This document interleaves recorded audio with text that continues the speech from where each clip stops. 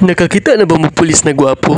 Macho niya Moreno. Awa na ilangayan pa, ipaila-ila ko kaninyo. Patrolman Chati Adolfo. Ah, garaagin Troy. Bitaw mga sir, salamat kayo ninyo no. Sa tanang kapulisan lungsod sa tukuran. Ug labi na sa tibuok nasod Pilipinas nga atong silanganan. Salamat sa inyong serbisyo nga dili kabayran. Sa mga sakripisyo kahago aron lang masiguro ang safety sa tanan. Naamantay na balitaan mga negatibo o mga isyu nga atong nadunggan. Pero dili nato angay iwari ang kadaghanang nagmatinud-anon sa ilang serbisyo. Ug angay lang nga ato silang saluduhan. Busa mga sir ang among pagsalig ug pagsaludo dili gyud mabago. Tungod kay kamo ang instrumento nga gigamit sa Ginoo para maproteksyonan labi na kaming ordinaryong Pilipino. Pero balik sa taning atong customer kay grabe ko kalingaw. Tungod kay grabe pud ni ka Joker kasi sa inyo nakita sige na mig pangatawa. Tungod kay niabot nag power ang among mga istorya. Bitaw sa tinuod lang ato ning ayuhon ug ato ning tarungon. Kay basin di ay magian ato ni sa checkpoint may nalang tita parahon.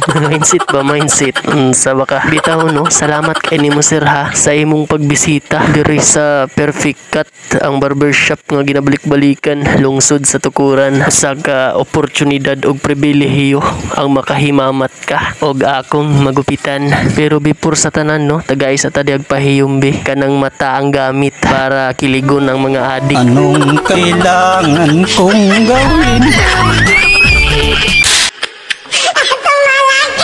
Upang malaman mo Siguro, umiral siguro yung kademonyo ng aking kamay. Gumalaw.